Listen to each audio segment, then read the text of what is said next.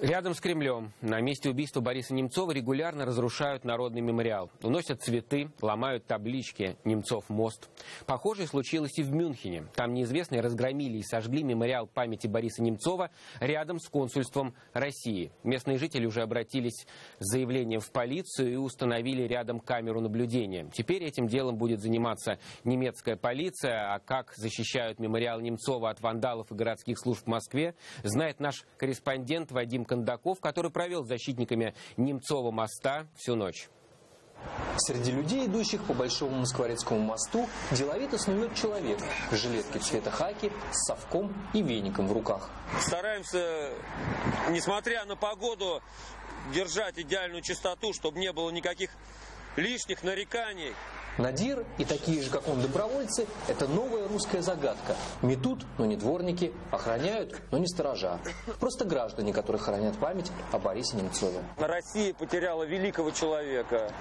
Для нас он вообще святой, потому что он принял мученическую смерть за Россию, за свободу, за свой народ. Большинство проходящих мимо с интересом разглядывают фотографии и таблички, лежащие на асфальте. Но случается, приходят и те, кому все это не нравится. Их бесит э, то, что люди сюда приносят цветы, э, люди приносят свечи, портреты, начинают там ногами разбрасывать букеты, э, акты вандализма, плюют иногда. Вот. Но мы, конечно, вступаемся, стараемся мирно, но защищаем мемориал как только можем.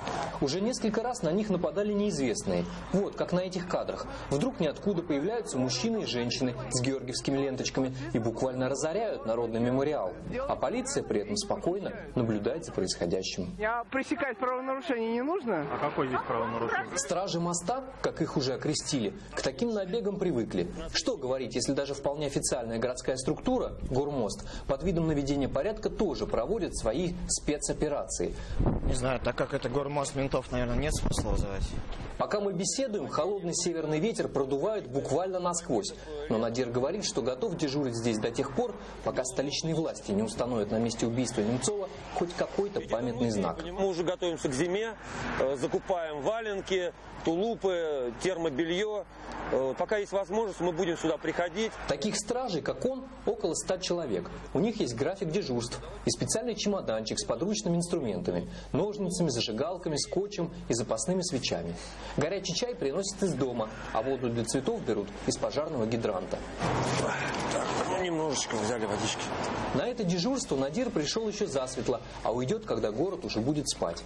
И ночью, в случае опасности, вся надежда только на подручные средства. Это видеорегистратор, конечно, э, если есть какое-то хулиганство, какие-то агрессивные действия, вот, видеорегистратор мы включаем. У всех наших дежурных э, свистки, чтобы, э, так сказать, звать помощь. Вот, здесь все-таки э, рядом Кремль. И все-таки здесь большая плотность э, правоохранительных органов. Хотя и свисток, и видеорегистратор, и вера в плотность правоохранительных органов – это все больше для самоуспокоения. Ведь близость к Кремлю, похоже, уже не является гарантией безопасности. Вадим Кондаков, Станислав Феофанов,